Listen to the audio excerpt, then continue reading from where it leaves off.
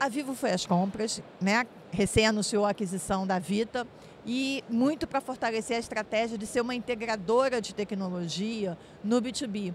E é um movimento novo, é um movimento diferente para uma operadora de telecomunicações. Como é que vocês estão juntando esse movimento ao 5G? A gente vem trabalhando no posicionamento do B2B é, justamente para criar todo esse portfólio de integração de soluções. Então, a conectividade, o 5G é fundamental nesse processo, né? É, é, é, a base disso tudo. Não só o 5G, toda a nossa infraestrutura de fibra ótica também. Hoje a gente tem né, a maior rede de fibra na América Latina que sustenta toda essa implantação do 5G. E o Ir às Compras faz parte, acho que, desse caminho. Né?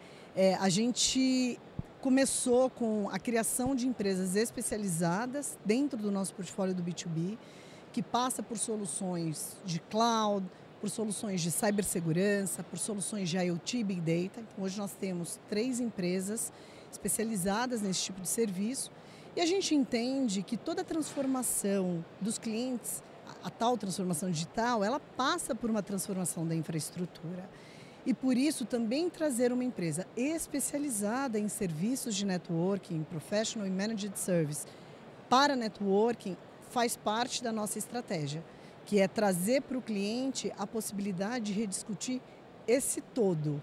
Né? Então vamos começar pela infraestrutura, entender quais são as necessidades de negócio, como é que a gente faz a adoção dessa tecnologia. Então você precisa preparar a infraestrutura para começar a levar todos os serviços para a nuvem.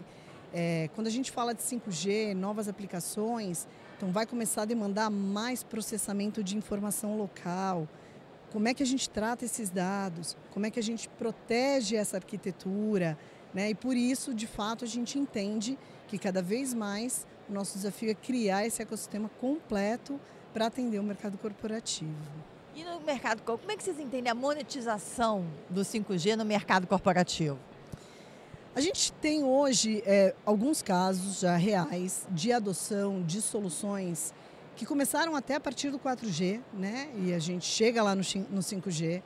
É, por exemplo, na indústria, na mineração ou em óleo e gás, mesmo no mercado de o que a gente chama retail, e, e pode-se entender retail, todas as aplicações que a gente leva, tanto para o mercado de varejo como para o mercado financeiro, onde você tem múltiplas localidades de um cliente, é, e que por exemplo, em mineração e, e óleo e gás, a gente levou soluções de redes privativas LTE que começam a dar então uma pronta resposta para as necessidades desses clientes, como automação né, de veículos que trabalham dentro de uma mina ou novas aplicações e novas automações dentro de uma plataforma de petróleo ou dentro de uma refinaria.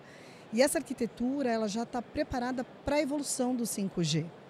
É, a gente já começa também a partir de conectividade de banda larga móvel é, no 5G a trazer uma nova arquitetura, por exemplo, uma agência bancária. A gente partiu com a primeira agência bancária do Itaú, utilizando essa tecnologia. Já temos, agora estamos implantando um projeto aí com mais 100 agências.